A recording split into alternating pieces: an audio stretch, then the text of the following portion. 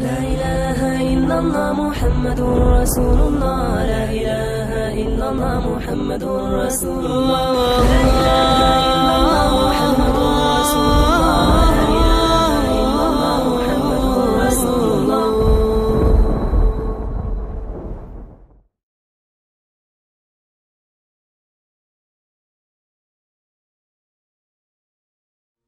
If you ask me what my book is that I hold in my hand, if you ask me what my book is, it's the Holy Quran, the Holy Quran. بسم الله الرحمن الرحيم الحمد لله والصلاة والسلام على رسول الله وعلى آله وأصحابه أجمعين all praise belongs to Allah subhanahu wa ta'ala. Blessings and salutations upon Muhammad sallallahu alayhi wasallam, his household, his companions. May Allah subhanahu wa ta'ala bless them all and may Allah subhanahu wa ta'ala bless every single one of us. My beloved brothers and sisters, we have a lot to learn from the Sahaba radiallahu anhum, the companions of Rasulullah sallallahu alayhi wasallam. We need to bear in mind that these companions were chosen by Allah subhanahu wa ta'ala.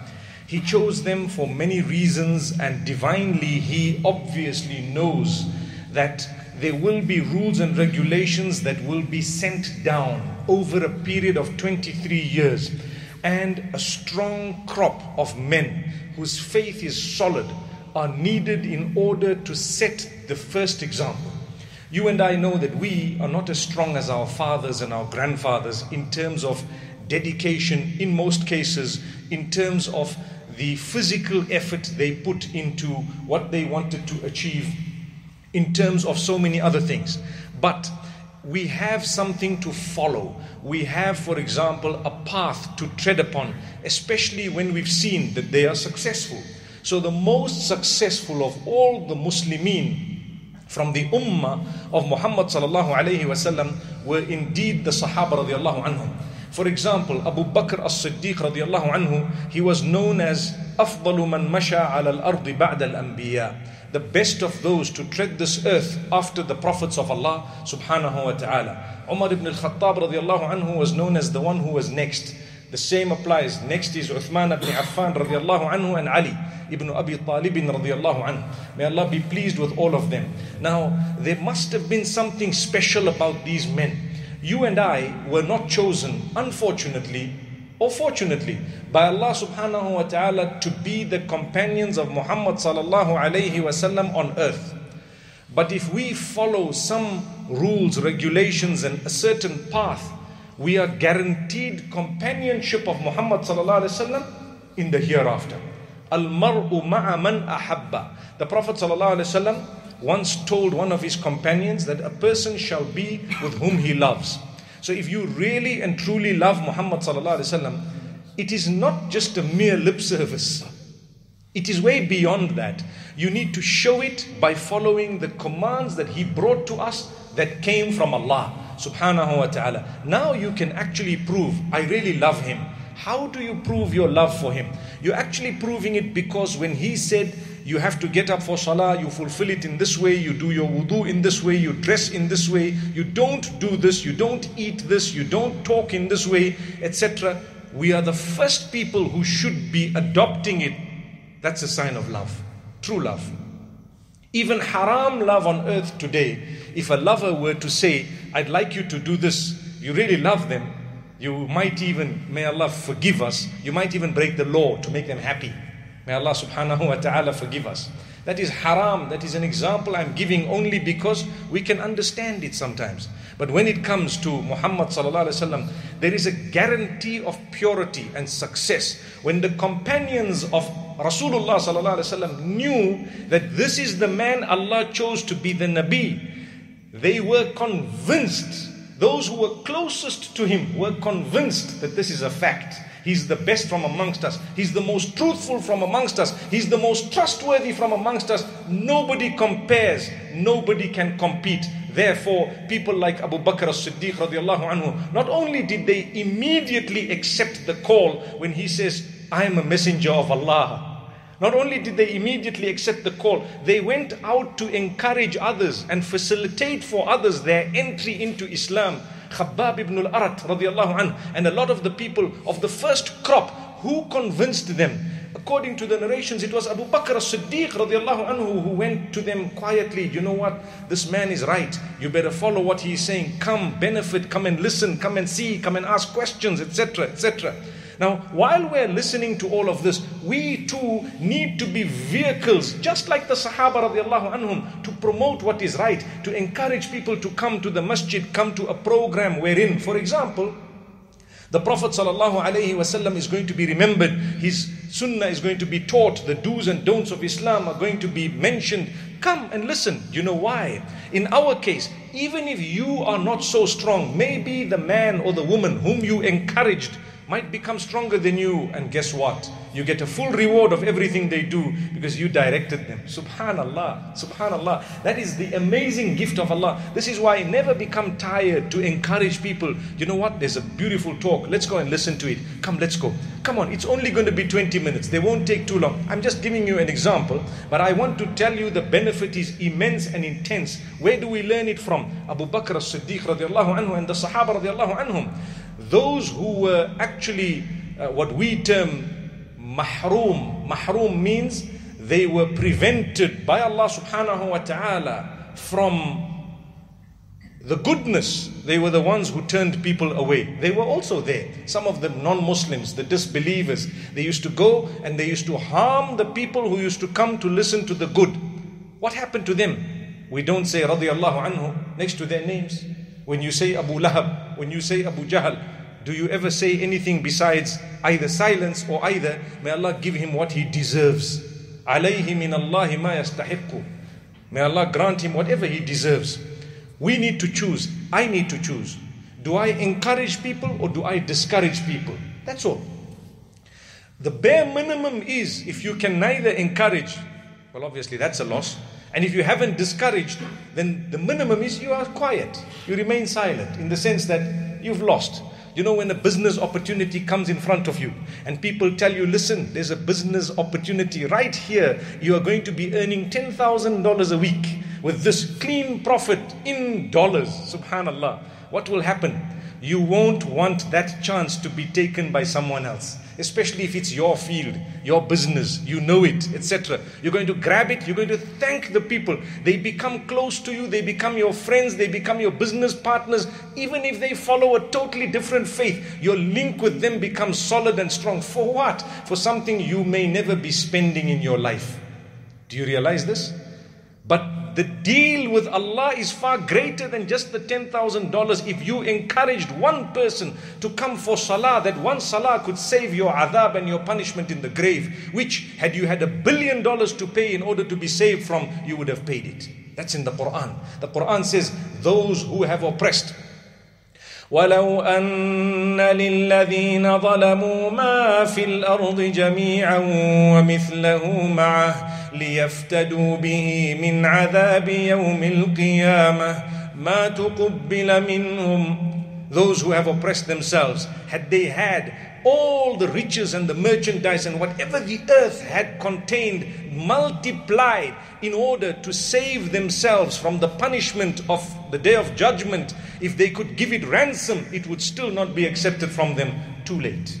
So where do we get the benefit from? Why was Abu Bakr as-Siddiq radiallahu anhu known as the best? Why? Because he helped so many people see the goodness and he brought it to them and he paid for them to come into the deen. For example, Bilal ibn Rabah radiallahu anhu, he was a solid person. He came into the deen obviously with the help of Abu Bakr as-Siddiq radiallahu anhu and the others. He was so strong Abu Bakr as-Siddiq anhu went to his master and paid him off to buy the slave, not for his own benefit, for the sake of Allah. This is a free man. When he makes salah without a worry, I will get the reward. Subhanallah. Look at this. It's, a, it's an amazing point that we need to think about. To, to help someone by alleviating their worry so that they can worship Allah in a better way is an act of worship similar to that of Abu Bakr as-Siddiq radiallahu anhu. Where are we? Where are the Sahaba radiallahu anhum? Similarly, my beloved brothers, and dearest listeners, let me explain something very, very interesting regarding the association of the companions of Rasulullah with the Quran. The Quran was revealed over a period of 23 years. Every time rules and regulations came, it strengthened them. In the Meccan period, or most of the verses, if not all of them, were connected to belief. Belief in the hereafter, the punishment, how the grave is going to be, what's going to happen in the future, what's going to happen, the angels that exist, and the fact that they don't miss anything, the fact that you believe in Allah, you believe in the last day, you believe in good and bad coming from Allah. All this was revealed in Makkah al-Mukarramah. When the verses came down, the Sahaba anhum were strengthened. Strengthened. Because the kuffar around them were living with a purposeless, aimless life. They used to live in order to earn the money, the merchandise, to become rich, to be, to be able to have power and authority on earth, to be able to oppress others.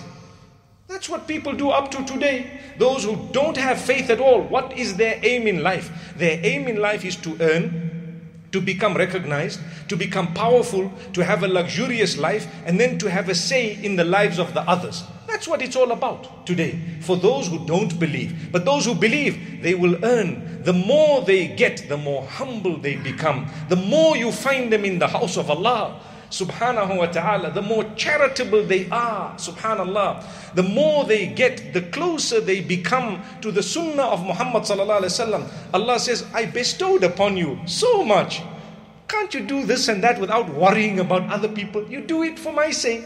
Some people hide their Islamic identity, but you're a multi-millionaire. Why do you need to hide the identity? Proclaim it. I'm a Muslim, mashallah. May Allah subhanahu wa ta'ala grant us steadfastness. The Sahaba radiallahu anhum, under the threat of persecution, they were proudly Muslim. With us, the weakness is such that with no such persecution, we are still sometimes in a jam whereby we are shy to proclaim our Islamic identity or even a name. May Allah subhanahu wa ta'ala strengthen us all and may Allah subhanahu wa ta'ala help us. There is a lot of goodness in the ummah. There is a lot of goodness in the ummah and we have a lot of hope regarding the youth and the, the members of this ummah. Inshallah, if we can tackle shaitan, we will be able to see the fruit of the beauty of all of us. Never underestimate a single individual, no matter who he is. He could be so close to Allah that Allah subhanahu wa ta'ala may love him way beyond his love for you and I. May Allah subhanahu wa ta'ala grant us goodness. So going back to this beautiful point of the Quran, Abu Bakr as-Siddiq radiallahu anhu and Umar ibn al-Khattab radiallahu anhu, when verses were revealed, they were the first who, who supported in such a way that they would sacrifice anything to defend Islam and the Muslims and Muhammad above all. Subhanallah. I give you an example. The time of the Isra and the Mi'raj, when the kuffar of Quraysh told Abu Bakr that you know what, would you believe it if a person says that he went from here to Baytul Maqdis, from Baytul Maqdis up to the seven heavens, from the seven heavens he came down and they described everything for him and he came back. When he heard that your friend is saying that, he said, if my friend is saying that, I believe it. Allahu Akbar. Initially, obviously, you didn't know who's saying it, so is it possible? Humanly, we would probably think it's not possible. But for the Nabi of Allah, what's not possible? Subhanallah. By the help of Allah, subhanahu wa ta'ala, by the power of Allah. So Abu Bakr as-Siddiq radiallahu anhu, you know, in our terms, he would put his head on the block to say, listen, if he said it, it's done. By that, today, when we talk about him, subhanallah, only a hypocrite can dislike him or detest him. Sallallahu alayhi wa sallam, sallallahu ala Muhammad and Abu Bakr radiyallahu anhu. May Allah be pleased with him and all the companions and may Allah be pleased with every one of us. So, what is it that they used to do that Allah chose them to be companions for? It is one main quality that the bulk of the Sahaba who were not hypocrites had. What was it?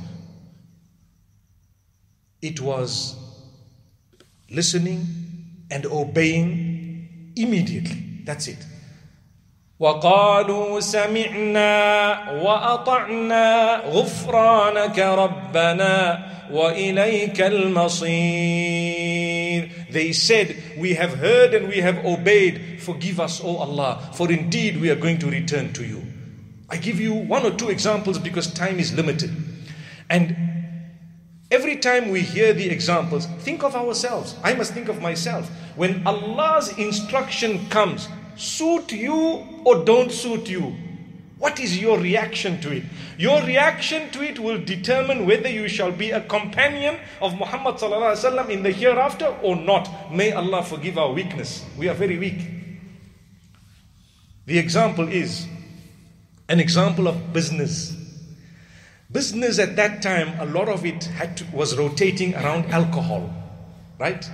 So they used to buy alcohol. They used to pride themselves in the types of alcohol that the brews that they had, and this man could make this brew, and that one could do it this way, and this one had that which was, you know, quickly intoxicating, and the other one had the one that tasted so good, and so on. And they prided themselves in this type of statement.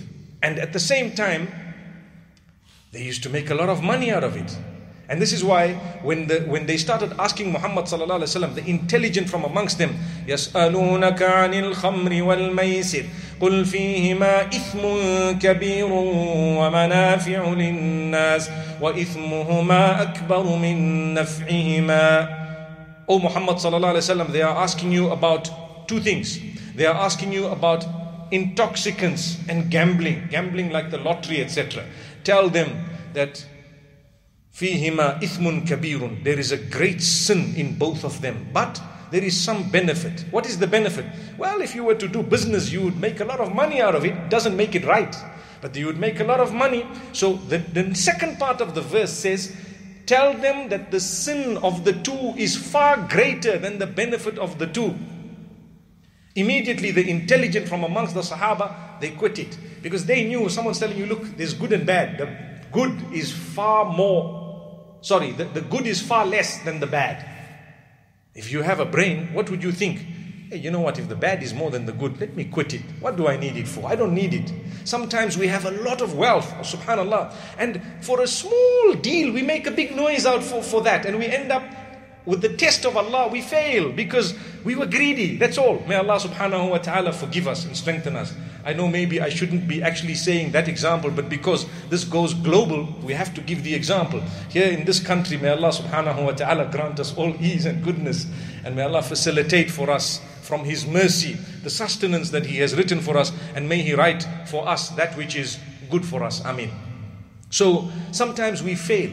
At that time, the Sahaba radiallahu anhum, do you know what they did? They didn't fail. They understood, a lot of them understood, the intelligent ones, look, let's quit it. After that, another verse was revealed to say, while you are in the state of intoxication, don't be drunk, meaning don't drink and then come for salah. That's what it is. While you are in the state of intoxication, don't come for salah. So you have to drink if you wanted to at an odd hour. Another group of companions of the Prophet ﷺ understood that that means it's very bad. The third type, when, when the prohibition came, they didn't think, hey, I'm going to lose a lot of money. This is going to happen. Hey, this thing tasted nice. Hey, this guy was addicted. The other guy was this and that. No excuse whatsoever. فهل أنتم منتهون The verse came down, Are you going to quit it for the sake of Allah? They said, We have quit it, we have quit it. It's over. Within a split second. That is what made them so honorable in the eyes of Allah subhanahu wa ta'ala. They were Sahaba radiallahu anhum. I gave you one example. The same applies to riba. For example, usually when it was prohibited, they dropped it. The same applies to salah. When it was prescribed, they did it wholeheartedly. There were no people who were not there. No people who were not there. They were all there, subhanAllah. They did it wholeheartedly. They were companions. Those are the footsteps we should be following. And therefore, I'd like to tell you that, you know what? If we would like to be companions of Muhammad sallallahu wasallam in the akhirah, let's develop a quality. Whenever you hear the verses of Allah, And whenever you hear the sayings of Muhammad you should immediately lend an ear and try your best to follow it as best as you can. You will never go wrong. Because even Muhammad says, I leave with you two things. For as long as you hold fast upon them, you will never be astray. What are they? The Quran, the word of Allah, and my sunnah, my way. Obviously, we have to look into what the ulama have taught and look into whatever has come down over the generations in order to understand the verses of the Quran and the ahadith. Because sometimes if you read a verse, I read a verse, yes, the bulk of the verses are quite easily understood. But a question begins to appear in our minds regarding something we may have read. Go and ask those with knowledge if you don't understand. That's what we are taught. But you need to feel something, hey, I, am feeling very uneasy because this is the Prophet ﷺ statement and I'm doing something else. I'm feeling very uneasy because this is the Quran that Allah has revealed and I'm doing something else. You don't need to participate in that which is wrong.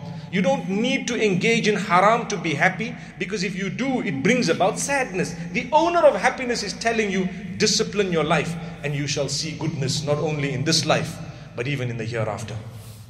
May Allah subhanahu wa ta'ala make us from among those who learn a lesson from the lives of the illustrious companions of Muhammad sallallahu alaihi wasallam. May Allah subhanahu wa ta'ala make us follow their footsteps. May Allah strengthen us and protect us from shaitan. And may Allah subhanahu wa ta'ala grant us Jannatul Firdaus with Muhammad sallallahu alaihi wasallam. And may Allah subhanahu wa ta'ala forgive all our shortcomings and grant goodness to the entire ummah. Brothers and sisters of ours are suffering across the globe in Burma, in Syria, in Iraq, in Afghanistan, in, in Yemen, in so many places, places we know, places we don't know. May Allah subhanahu wa ta'ala grant ease to all of them as well as ease to every one of us. أقول قولي هذا وصلى الله وسلم وبارك على نبينا محمد سبحان الله وبحمده سبحانك اللهم وبحمدك نشهد أن لا إله إلا أنت نستغفرك ونتوب إليك